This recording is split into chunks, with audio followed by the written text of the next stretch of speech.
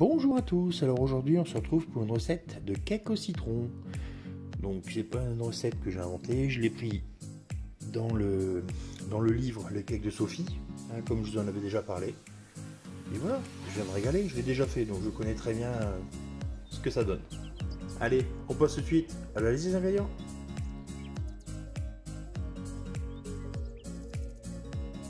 Donc pour cette recette, il nous faut 3 œufs, 170 g de sucre semoule, 160 g de farine, un tiers de sachet de levure, il nous faut 150 g de beurre demi-sel, vous pouvez prendre du beurre doux et vous mettrez un peu de sel à côté, ça ira au même.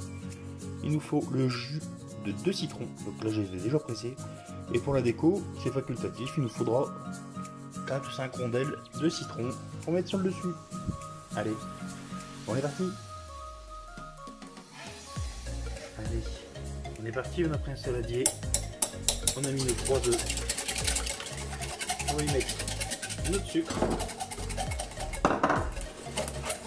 et on va faire blanchir ça.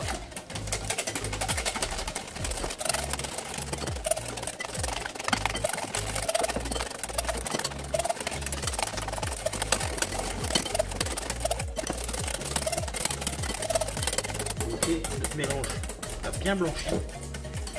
Donc là, je vais rajouter notre farine qu'on va utiliser et par la même occasion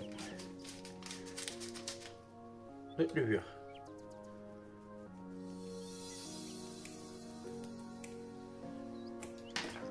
Donc ok, on va mélanger tout doucement pour pas en mettre partout.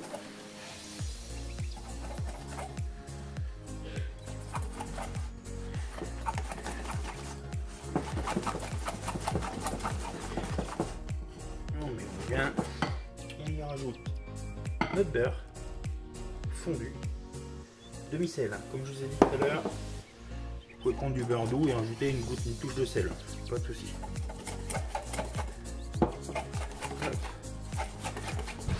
On mélange bien. Et maintenant, on va y ajouter notre jus de citron. Donc je garde toujours la passoire parce que j'ai vu un ou deux pépins et ça serait béto.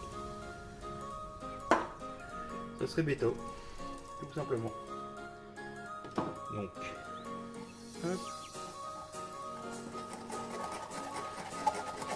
on mélange un bon coup.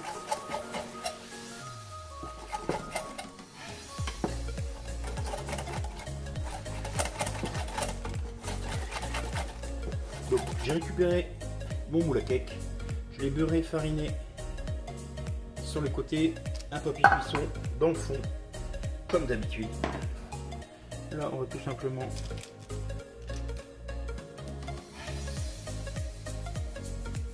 Hop. Allez.